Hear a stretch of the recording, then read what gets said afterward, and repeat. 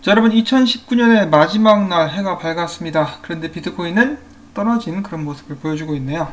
힘을 좀 내가지고 추세 전환도 한번 해줬으면 좋았을 텐데 아쉬운 모습으로 2019년을 마감하게 되었습니다. 근데 뭐 2019년 1월 달에 비교를 해보면은 그래도 굉장히 선전하고 있는 그런 상황이라고 또 봐도 괜찮겠죠. 부디 2020년에는 이 7,000불대를 바닥으로 삼고 지지대로 삼고 계속해서 상승해 주기를 한번 기대를 해봅니다. 자, 그 다음에 암호화폐 투자자분들께 좀 기분 좋은 소식 한 가지가 나오게 되었는데요. 기획재정부의 공식 입장이 나왔습니다. 이 비트코인 등 암호화폐 거래로 이익을 얻은 투자자들에게는 세금을 부과할 수 없다. 암호화폐 거래 이익은 소득세법에 열거된 소득이 아니므로 과세 대상에 해당되지 않는다라고 판단을 한 것인데요. 미래 세법 개정이 이루어질 때까지는 암호화폐에 대해서 과세를 하지 않겠다 라고 해석을 해볼 수도 있을 것 같습니다. 자 그러면 빗썸 문제는 어떻게 될 것이냐 예, 모르겠습니다. 기다려 봐야겠죠. 지금 현재 기재부와 국세청은 암호화폐 과세를 두고 엇박자를 내고 있다. 이 같은 기관인데도 이런 식으로 의견 일치가 되지 않고 있는 예, 그런 상황이 펼쳐지고 있고요. 그 다음으로 이어지는 소식, 대한민국의 블록체인 회사 블룸테크놀로지와 두바이의 부동산 업체인 맥그레고가 함께 파트너십을 맺고 부동산 구매자들이 블룸테크놀로지의 암호화폐 로커스를 통해서 부동산을 구매하는 것을 가능하게 할 것이다 라고 합니다. 자, 이 파트너십을 통해서 약 천여 명의 한국 투자자들이 보다 손쉽게 두바이에 투자를 할 수 있게 될 예정입니다. 자, 그 다음으로는 이더리움 관련된 소식인데요. 이더리움이 바닥을 찍은 것 같다. 몇 가지 긍정적인 기술 지표가 목격되었다라는 소식인데 이 이야기를 누가 했냐면은 데이브 더 웨이브, 나름 좀 알려져 있는 분석가인데요. 데이브 더 웨이브는 비트코인이 6,000달러대까지 떨어질 것이다라는 것을 맞춘 사람 중에 한 명이다라고도 하죠. 그가 이야기하기를 이더리움이 최근에 바닥을 찍었으며 강세 추세 복귀를 위한 무대를 마련했을 수도 있다는 견해를 제시했다라는 것입니다.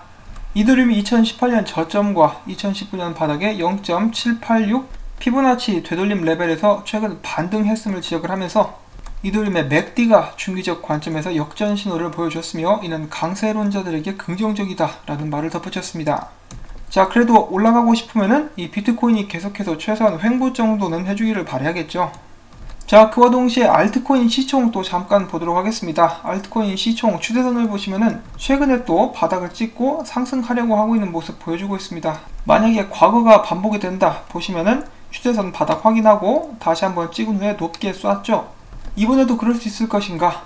만약에 역사가 반복된다면은 똑같은 패턴이 반복된다면은 조만간에 알트 시총 큰 상승 한번 또 기대를 해볼 수가 있겠는데요. 과연 2020년에 알트 대잔치가 열릴 수 있을 것인지 한번 희망을 가져보도록 하겠습니다.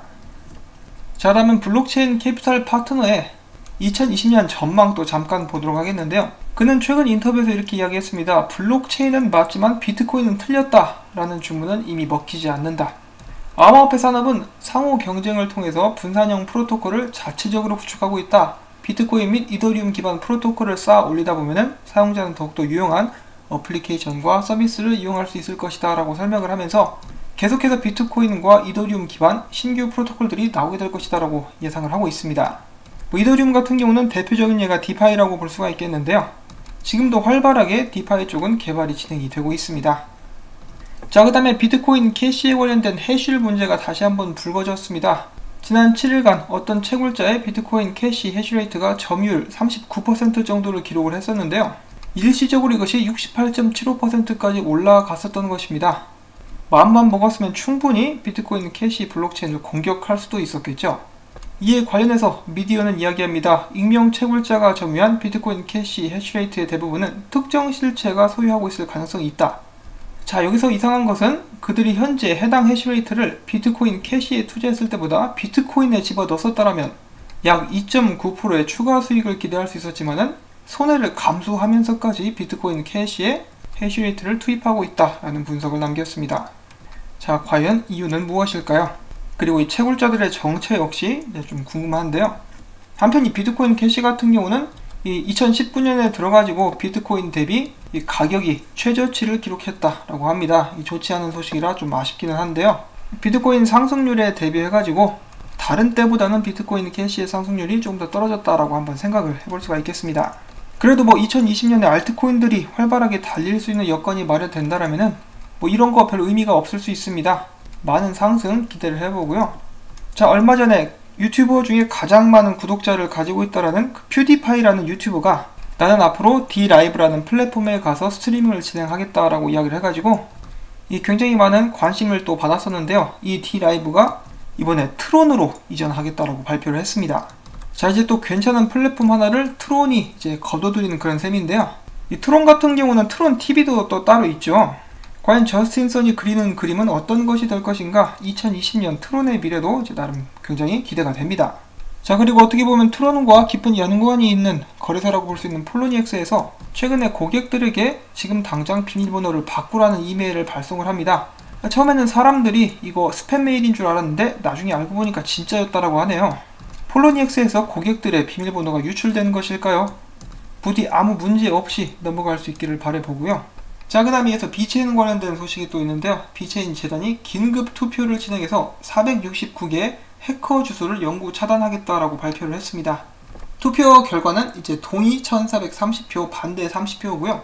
이번 투표로 해커 소유 주소가 모두 영구 차단되면서 7억 2,700만 개의 비체인 코인이 소각될 예정입니다. 이는 전체 물량의 1% 정도라고 하네요.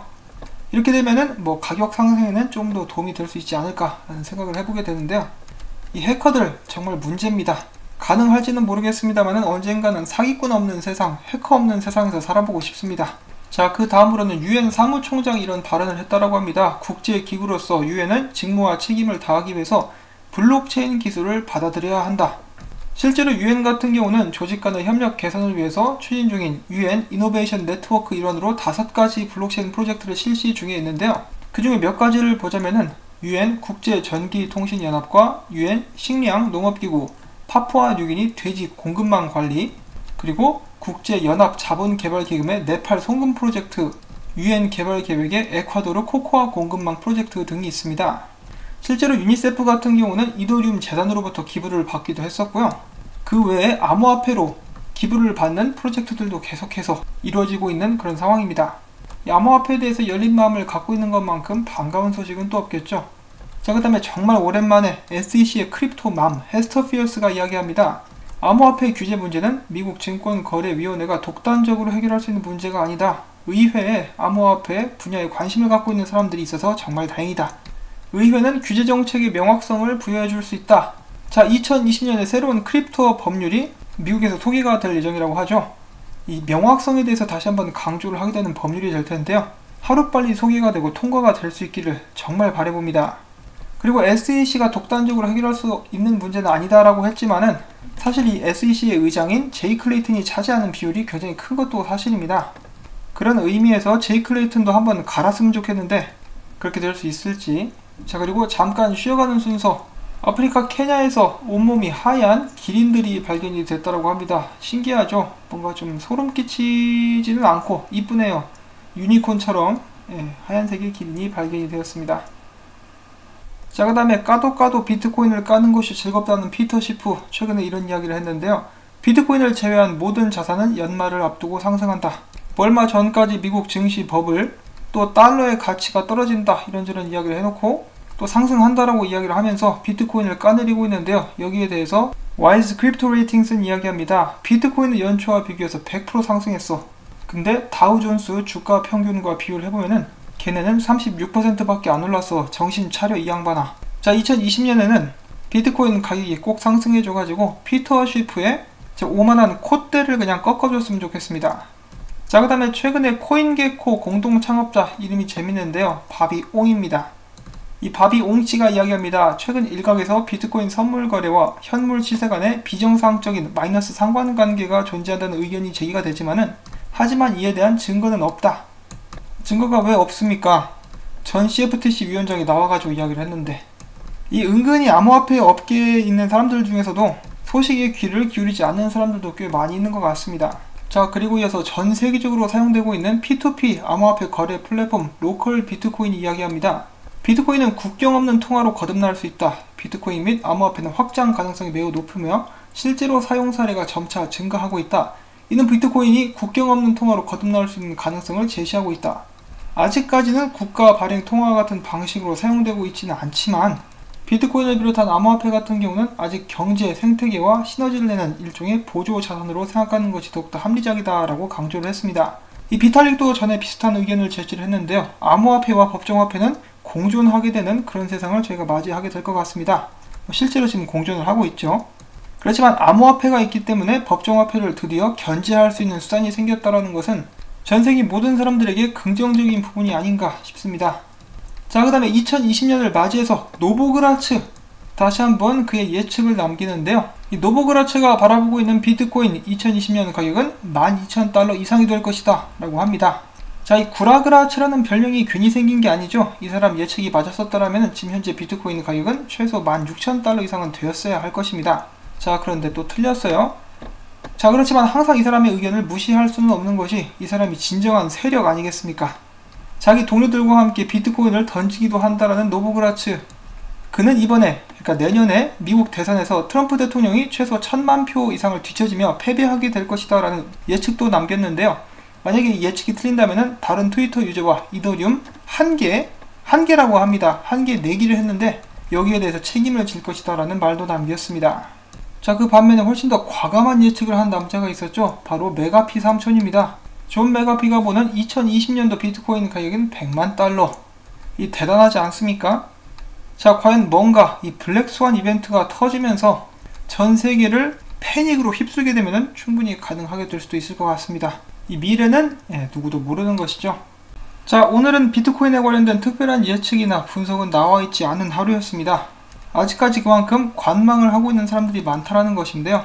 일단 최근에 7,700불대, 800불대 혹은 8,000불대까지 올라가지 못했기 때문에 추세 전환은 실패로 돌아갔다고 볼 수가 있겠고요. 일각에서는 7,400불을 뚫어야 그래도 그나마 추진력을 충전할 수가 있다라고 했지만은 지금 현재로서는 7,400불도 좀 버거워 보이는 그런 상황이기 때문에 2020년으로 넘어가면서 다시 한번 비트코인의 강세를 기약을 해볼 수밖에 없을 것 같습니다. 자 지금 현재 암호화폐 거래소의 롱숏 포지션 비율 같은 경우는 전체적으로는 어제와 비교했을 때 크게 다르지 않지만은 비트맥스와 바이낸스에서 숏 비율이 증가했음을 제가 확인을 해볼 수가 있었습니다.